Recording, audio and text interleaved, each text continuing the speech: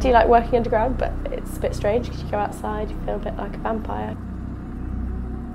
It was a pretty hot environment to work in, but the mosquitoes like it.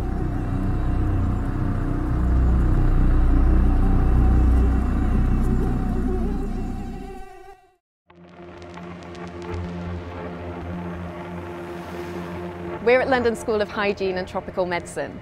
It's on a busy street, but a lot of people don't realise that they're walking on top of underground labs that are home to thousands of mosquitoes from across the world. These used to be air raid shelters in World War II. They were converted to insectaries in the 1960s.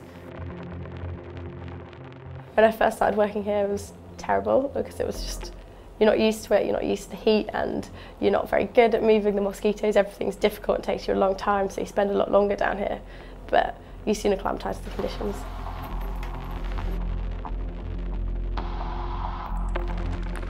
So basically we rear insects such as mosquitoes to test products like insect repellents. We do the development work here to check that they work before they're sold to the public. It's important to test repellents against mosquitoes because they can transmit diseases such as dengue, malaria, West Nile virus, so we want to prevent that happening. Um, going to blood feed the mosquitoes so they can produce their eggs. They need it for egg development and you'll be able to see their bellies filling up with blood.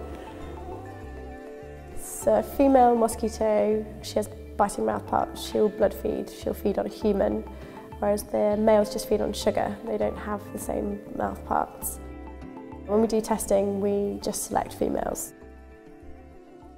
I do not like these females. We get bitten by them quite frequently, so it feels like a little bit of revenge when we get to test on them.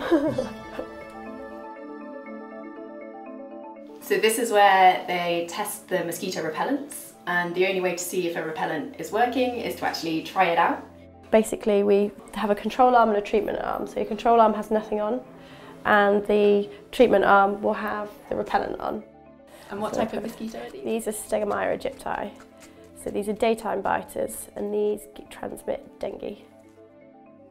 So test my hand straight in? Yeah, straight in. So then we close that and start the timer.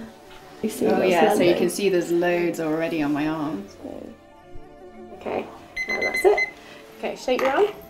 Can you feel them now? I very slightly, yeah. You can see the tiny little red marks there. And I bet by tomorrow those will be big bumps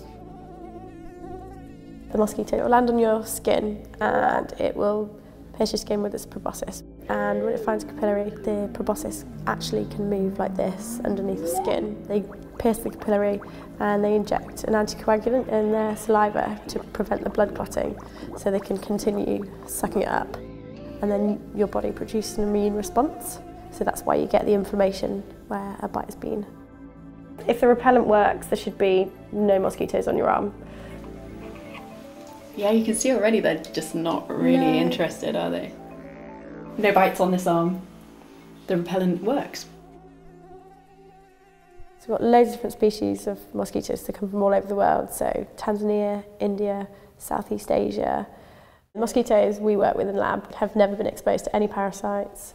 They literally go through their life cycle there and we've kept them in colony since the 1960s really.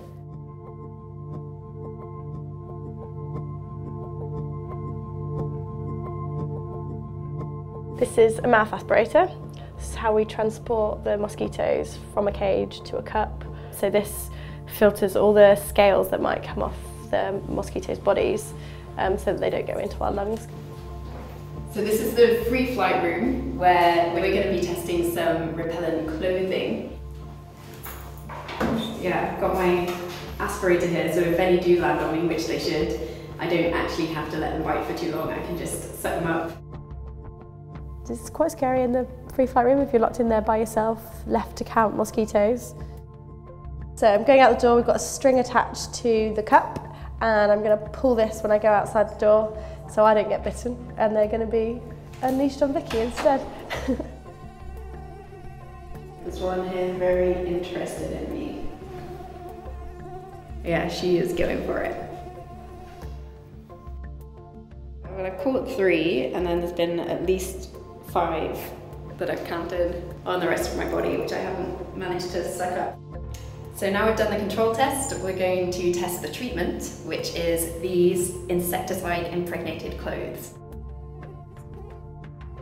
So I've got a few buzzing around me, but none of them have actually landed yet. I've got one here. Repellents work by confusing the mosquito. They interfere with their ability to find a human host, so it, you're sort of masked and they, they can't find you, essentially. So one mosquito isn't too bad, considering how many were landing on me without these clothes. This is our morgue. This is where we put all the mosquitoes to die after testing. We only use mosquitoes once, so we don't transmit any diseases to anyone, and then they go in here and they don't have any food and they die.